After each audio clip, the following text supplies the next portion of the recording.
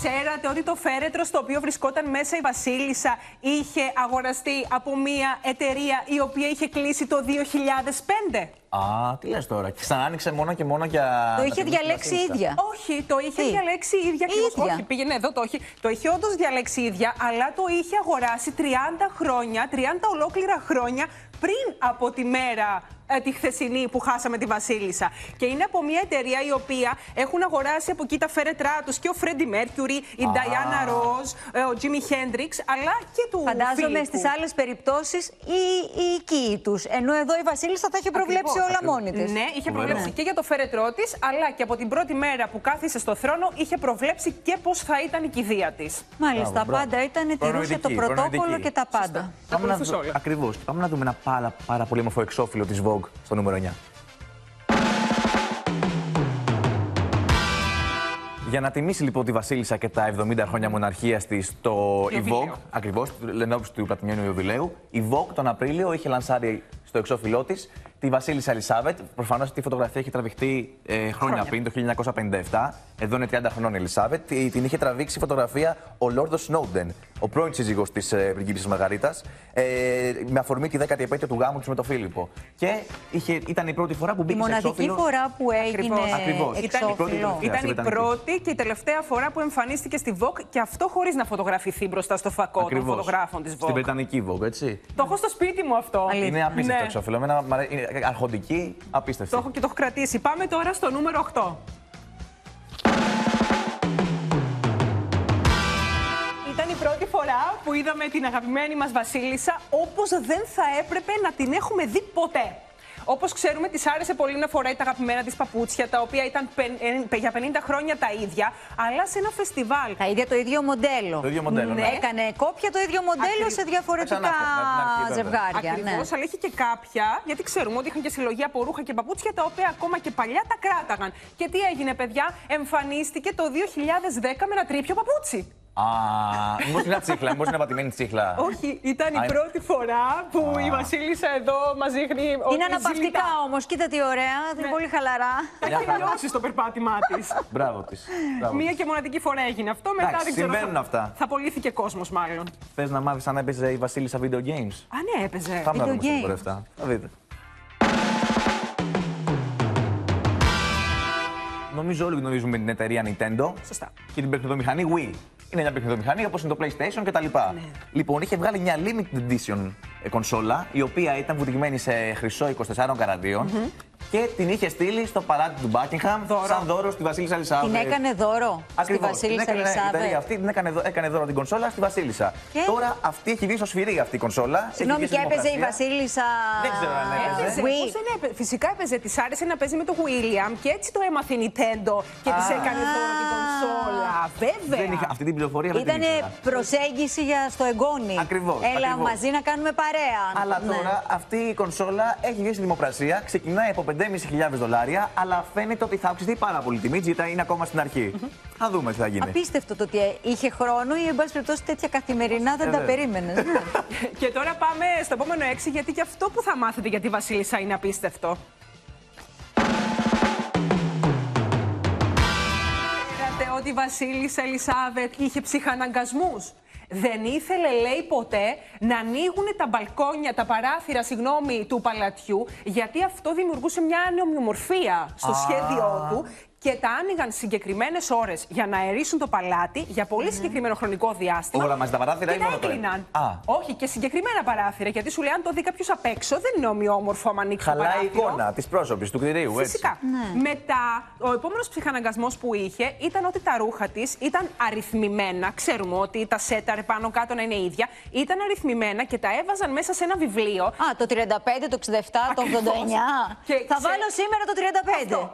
Και Ναι. ξέρανε πού φορέθηκε, ποια ημέρα φορέθηκε, έτσι ώστε να μην βέβαια. συμπίπτουν τα, χρ- συμπίπτουν τα χρώματα. Γιατί Σωστό. σου λέει, αν έβαλα την προηγούμενη ροζ, δεν θα Κοίτα βάλω και την όμως επόμενη. συνολάκια. Έχει μείνει στην ιστορία. Σωστό. Ακριβώς. Ναι. Θα Και- μείνουμε σε ψυχαναγκασμού. Περι- Α, έχει κι άλλο. Έχω κι άλλο ψυχαναγκασμό, Έχει- παιδί μου. Φο- Ο Γιάννης από πάνω με, Δεν με, της με άρεσαν, μπέρδεψε. λέει, καθόλου οι άντρες με μουσια. Εκτός από ήθελε το ξυρισμένους. χάρι, εκτός από τον αγαπημένο της χάρη, όλοι στον περίγυρό της ήταν εξυρισμένοι και δεν μπορούσε καθόλου τα παπηγιόν. Το προσπάθησε όμως ο Χάρη, εγώ ξέρω. Το προσπάθησε να μείνει Συγγνώμη, ρε ξυρισμένος, παιδιά, αλλά δεν του δεν άρεσε. της άρεσαν, αλλά προφανώς δεν το επέτρεπε και στους Στο προσωπικό, ανθρώπους βέβαια, στο ναι, ναι, ναι. προσωπικό στο Ακριβώς. παλάτι να έχουν μουσια. Ακριβώς. Ο Όχι μόνος που μουσια. παραστράτησε ήταν ο Χάρη, ο οποίος και αυτός Τι να κάνει, αδυναμία. Και δεν μπορούσε τα γυλαίκα και τα παπηγιόν, τα οποία παπηγιόν θέλω να σας πω ότι τα αναγνώριζε άμα ήταν μαϊμού. Και δεν της άρεσε, λέει, αν δεν ήταν επώνυμο Έκοβε μπραντ. το μάτι της, έκοβε.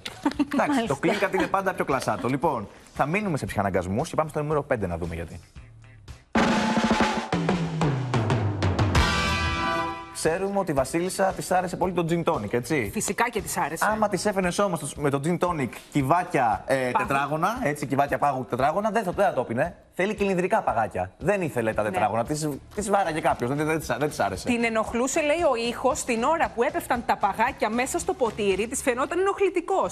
Ενώ Ενώ ο με ήχος- Άμα ήταν κυλινδρικά δεν ήταν τετράγωνο, έτσι. έκανε Να. άλλο ήχο. Άμα Εις- ήταν ναι, σφαιροειδέ, Ε, ας βέβαια. Ενώ τα πούμε. σφαιρικά ήταν πιο γλυκός ο ήχος, ήταν πιο σαν λυρικός. μουσική. Εντάξει, παιδιά, όλοι έχουμε τα θέματα Ναι, μας. το Ο πες. καθένας έχει τα δικά του. Δηλαδή. Γιατί όχι, και εγώ έτσι μπορώ να πίνω το gin tonic μου. Δεν μπορώ, αν μου φέρεις τετράγωνα παγάκια, λέω πήγαινε Δεν το θέλω. πίσω. Πίσω. Δεν θέλω, κυλινδρικό.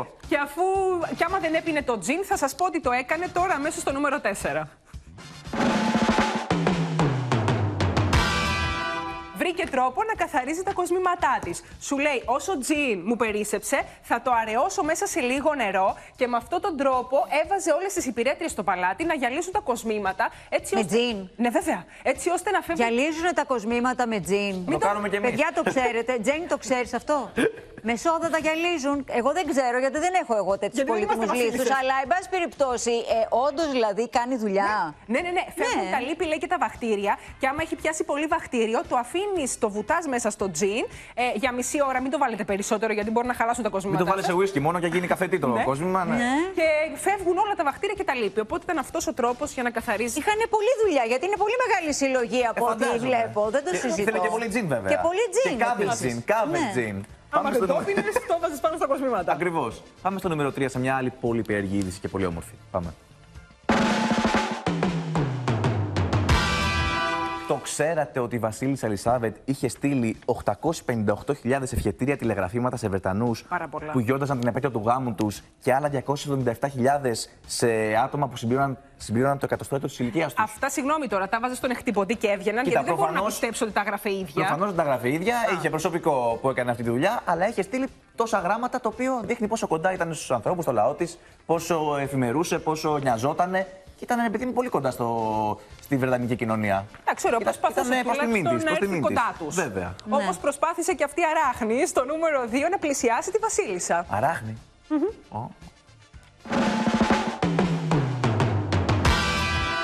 στιγμή που έγινε viral στο διαδίκτυο. Από τη στιγμή που μετέφερα. Πού εντοπίστηκε κι αυτό εκεί, Βασίλισσα. στο κυκλάκι, ναι; Είναι μία μικρή ε, ταραντούλα, αραχνούλα, η οποία βρέθηκε πάνω στο σημείωμα του Καρόλου τη στιγμή που εισερχόταν το φέρετρο της Βασίλισσας στο ναό του Αγίου Γεωργίου. είδαν Πώς αυτό. ερμηνεύτηκε. Ε, τώρα πώς, ήταν και μέρες εκεί. Τι σημάδι Η αλήθεια- είναι αυτό, ας πούμε, τώρα, γιατί Πρέπει- ήταν το πρέπει- σημείωμα του Καρόλου. Ε, Ναι, το, το οποίο Ναι. έλεγε, ρε παιδί μου, ε, αφοσίωση και μόνιμη αγάπη για σένα για πάντα έγραφε πάνω. Αλλά λένε, εικάζουν ότι βγήκε μέσα από τα λουλούδια και περπάτησε για λίγο πάνω στο γράμμα, το ευχητήριο και μετά ξαναγύρισε από εκεί που ήρθε. Ας Για πούμε. πώ το, πώς το είδαν εκεί, μου κάνει Ε, εντύπωση. μα έτσι, η φαντάσου. κάμερα. Παιδί μου, δεν άκουσες Απίστευτο. πριν πόσες κάμερες Πόσα, είχε εκεί. πόσα πράγματα έχουν αναλυθεί. Απίστευτο. Πάμε στο νούμερο 1 να δούμε έναν ε, πολύ εφάνταστο μοντέρ.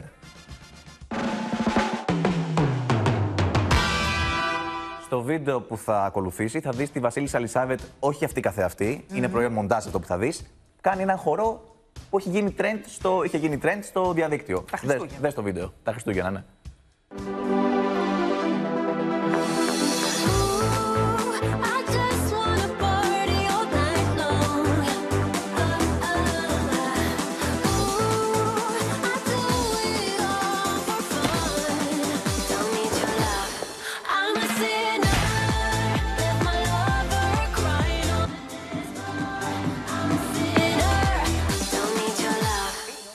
Τραγούδι, έτσι. Είχε εμπνεύσει πάρα πολύ κόσμο και είναι λογικό οι άνθρωποι να προσπαθούσαν να αποτυπώσουν κάπως τη ζωή της. Και αυτό είναι πολύ, ένας πολύ φάνταστος τρόπος. Δείχνει χιούμορ. Η βασικά. ίδια διαβα... Δείχνει χιούμορ. Έτσι όπως το βλέπουμε αυτή τη στιγμή, είναι ότι είναι μια διάψευση, μην πιστεύετε όσα βλέπετε. Ακριβώς. Εξού και εμένα σε αυτό το, Το βιντεάκι χορευτικό. του TikTok Αλλά είναι πολύ ήτανε- καλό μοντάζ. Πάρα πολύ Ναι. καλό μοντάζ. Μάλιστα. Έτσι από θέλουμε να μας. το θυμόμαστε εμείς τη Λοιπόν, Βασίλισσα. Ακριβώς. αποχαιρετούμε κι εμείς α, με το δικό μας τρόπο την Βασίλισσα Ελισάβετ. Ευχαριστώ πολύ.